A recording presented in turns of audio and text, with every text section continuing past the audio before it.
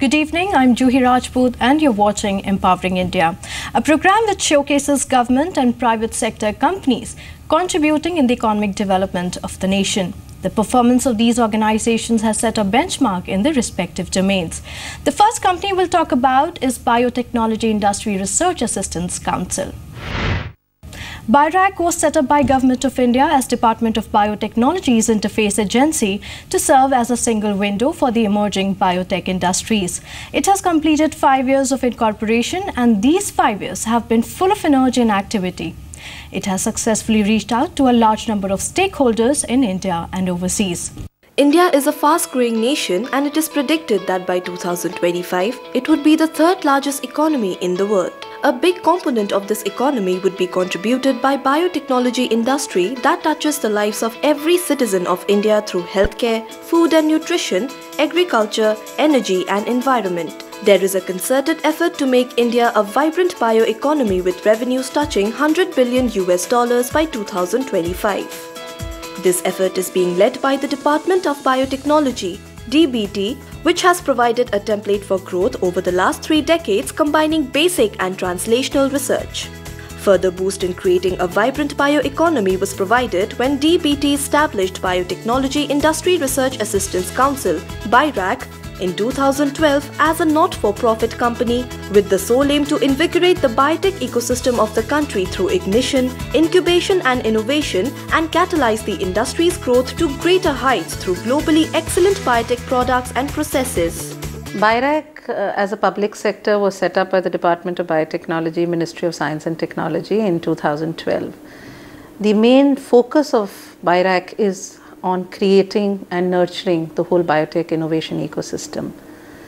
The mandate which was given to BIRAC was how can we promote industry academia interface, how can we help our entrepreneurs to take their innovations across the product development value chain, and how can we create the enablers for this whole ecosystem to flourish. And it's with this purpose that BIRAC has, over the last five years, focused on these aspects of the biotech innovation ecosystem we are looking at not only working with the young students and entrepreneurs, but the researchers within the country and trying to see how we leverage international partnerships to bring in the best practices and also to give access to our entrepreneurs for the larger ecosystem which exists globally. As BIRAC turns five years old, the consequence if we did not have BIRAC and if we magically remove BIRAC now, you would see the disappearance of extraordinary successes in entrepreneurship and innovation over the last five years, which BIRAC has enabled. It's enabled ignition from the finishing academia who want to become entrepreneurs, partnership with industry at early stage to start up your companies, and partnership at later stages, uh, and also all the way up to commercialization in different ways. All of this is possible because BIRAC was established. So BIRAC clearly has, by this deletion test, filled a major gap. So BIRAC's value, therefore, now must be judged not just by the gap it filled, but how it can continue to fill other major gaps which are there.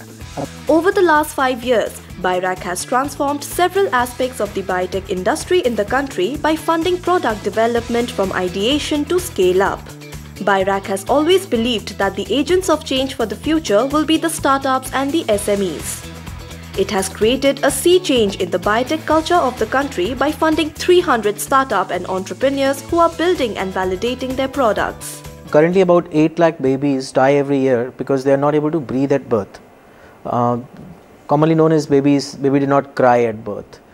all of them can be saved through a process called resuscitation and it's currently very difficult we have built the world's first foot operated resuscitation system which makes it very easy to save the life of such babies and therefore we hope to save the life of lakhs of babies by empowering frontline healthcare workers uh, to save lives easily. BIRAC has helped us in many ways uh, not least of which is by providing much required funding which we were able to leverage to secure IP to do research and development and also the whole BIRAC community uh, provides a lot of inspiration and insights at the time when we need it. The innovation is the development of a novel magnetic immunocapture based method for the diagnosis of bacterial gastroenteritis. Bacterial gastroenteritis in layman's terms is diarrhea like diarrhea is a major problem in the world, uh, worldwide, especially in India, in under under five-year-old children, and uh, the diagnosis for diarrhea, however, is not available in most parts of India. It's available in tertiary care hospitals and in big cities.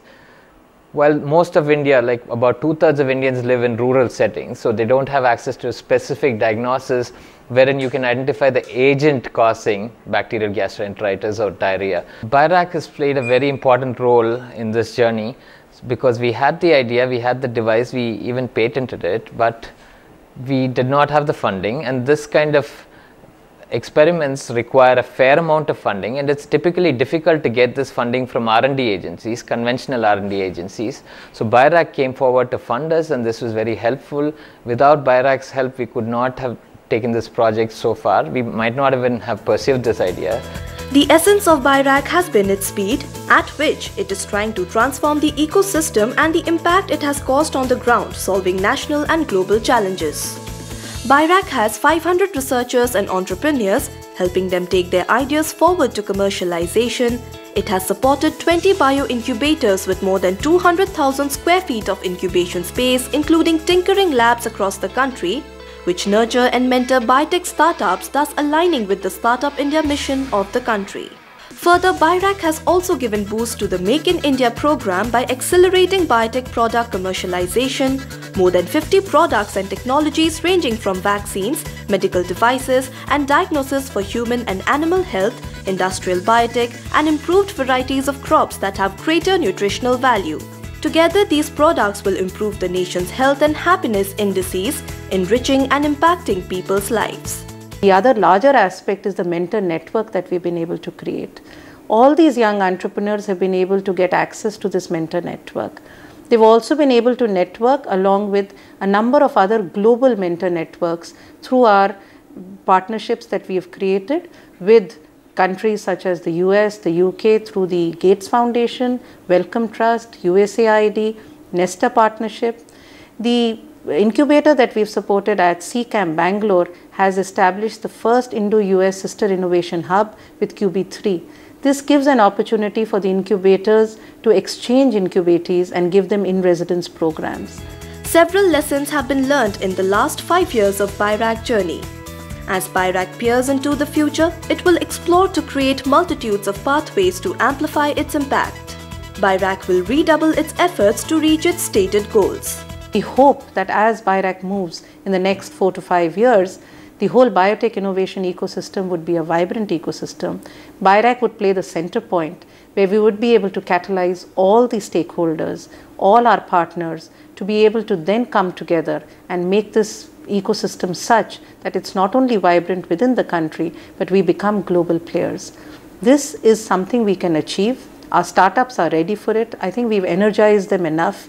We have the energy levels, it's important to see how we provide that ignition to be able to take this energy to the level that which we are expecting we would be able to be in the global arena in 2025 and this target is something which is doable. BIRAC is working towards it. We are looking at getting more partners with us and these stakeholders and partners would play a critical role in helping BIRAC to move to its target. Problem with the future is that it's extraordinarily difficult to predict uh, one can analyze the past, one knows the past, but what is the future going to be like? And the best way to be prepared for the future is to train people of quality so that they are ready to face any unknown unknowns. For this, BIRAC must have a strategy by which its training programs, human resource development programs in entrepreneurship must amplify nationally.